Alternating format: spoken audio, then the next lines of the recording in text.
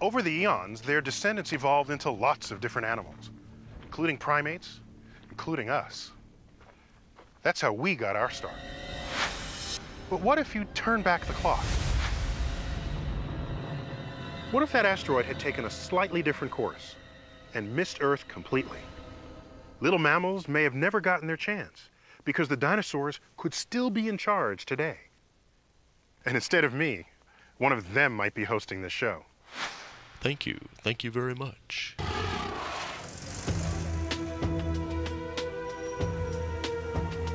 In some ways, we owe our existence to serendipity. And some argue that this makes the evolution of intelligence far less likely.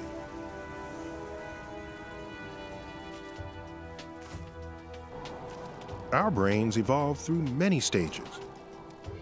The little rodents, the early primates, and later on we branched from the apes. This worked for us, but is it the only route to intelligence? Would an alien species have to go through the same steps? There's no way to know for sure, but on our planet, lots of animals have remarkable brains and behavior, including some that are very distant from us on the evolutionary tree. Among them are the cephalopods, including octopus, squid, and cuttlefish. Cephalopods are mollusks. They're related to clams and oysters, but they don't look much like them at all. And in the evolutionary terms, they've evolved in a very different way. Roger Hanlon has spent the last 30 years studying the behavior of these animals. Behavior that is their main defense from ending up as dinner. These animals are a yummy hunk of protein swimming around in the ocean. And once they're caught, they have no defenses. So they have to have a good primary defense. That's camouflage. Don't be seen. move over to this tank here. In the lab, Hanlon and his team study how cephalopods, like this cuttlefish, control and change their skin patterns. Taking that visual information and translating it to the skin on the back. This is beautiful. Look at that perfect white square. To see how they apply their tricks in their natural habitat, Hanlon tails them with his underwater camera. His biggest challenge? Finding them in the first place. Octopus and cuttlefish have an uncanny ability to completely disappear into the background. We all think of the chameleon as sort of the king or queen of color change, but that's not true. A cephalopod can show many more patterns and can show them instantaneously. An octopus can be so camouflaged you literally cannot see it. So every place they go, they are morphing into something that looks a lot like that environment. So here's the scene.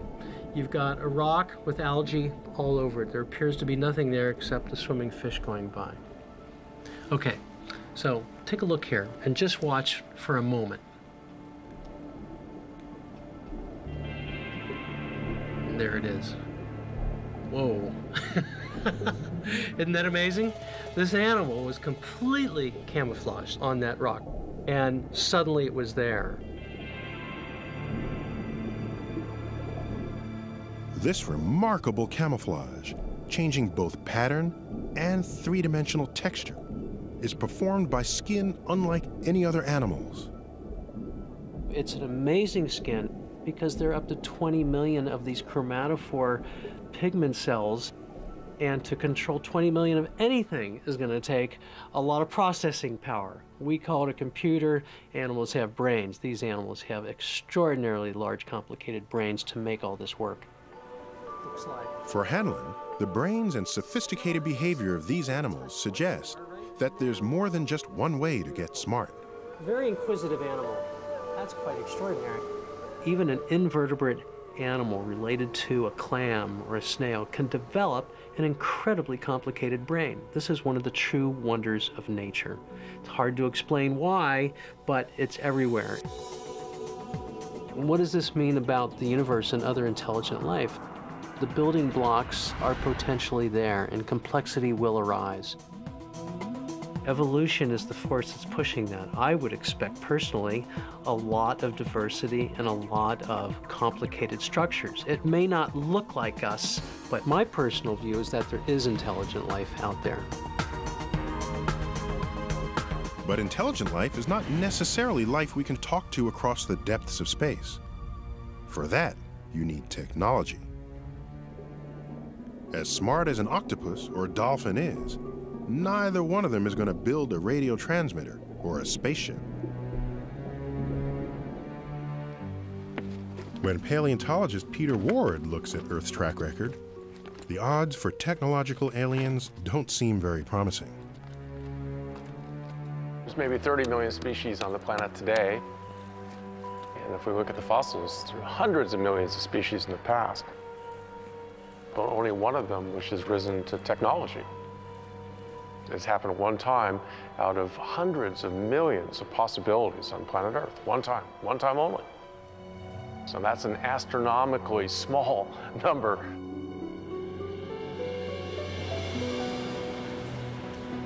Here on Earth, we are the only species that has mastered technology.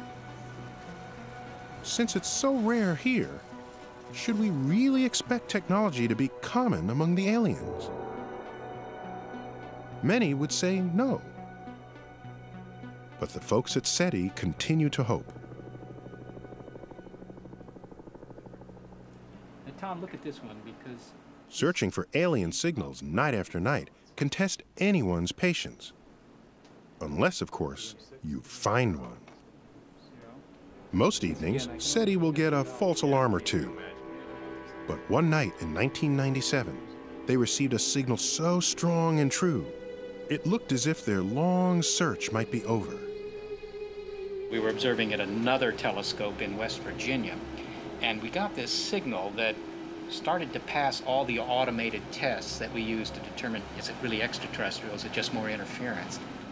The lead astronomer that evening was SETI director Jill Tarter. Following standard procedure, she pointed the receiving dish away from the star where the signal appeared to originate. If the signal remained, it was just a stray transmission from Earth. But when they moved the dish, the signal went away.